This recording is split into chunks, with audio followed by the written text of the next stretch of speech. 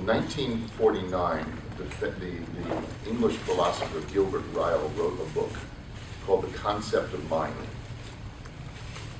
And in that book, he tried to explain his, his, his understanding or his construct, the way he viewed the mind. And he used an analogy which I think is important here. And he said, imagine going to a university and meeting someone there and saying, show me the university. And so your guide shows you around to classrooms and offices and laboratories and shows you storerooms and shows you the gymnasium and so on. And you spend two hours wandering the property.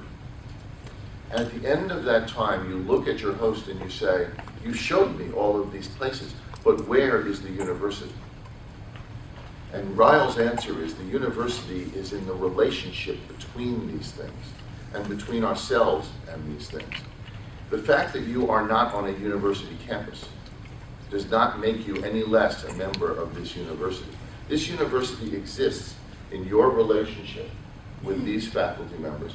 It exists in your relationships with each other. It exists in your relationship with me. Um, I got up this morning 50 some odd miles to the west of here.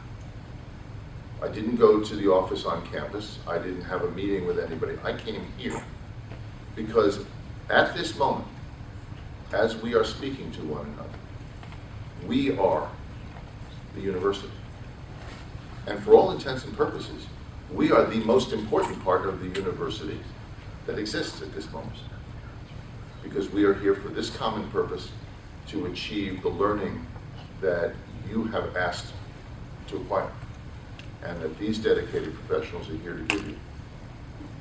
Universities don't require walls, they don't require buildings, they don't even require laboratories. In my view, they require the human capacity to interact with one another and for, for one to learn from another.